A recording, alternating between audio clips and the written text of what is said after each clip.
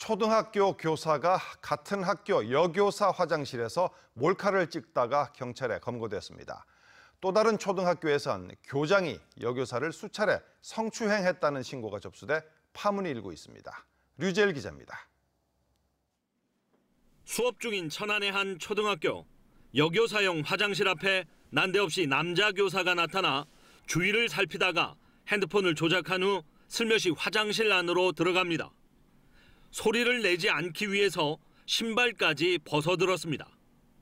약 1분이 지난 후 남자 교사는 신발을 벗은 채로 황급히 화장실을 빠져나와 사라집니다.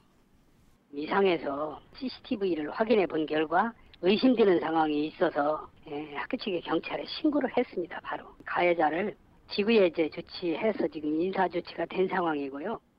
조사 결과 문제의 교사는 동료 여교사의 화장실 몰카를 찍은 것으로 확인됐습니다.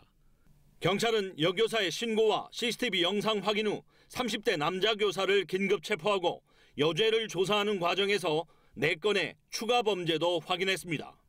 지난 17일 오전 태안의 한 초등학교 교정, 교장이 여교사의 종아리를 만지는 장면이 CCTV에 고스란히 찍혔습니다.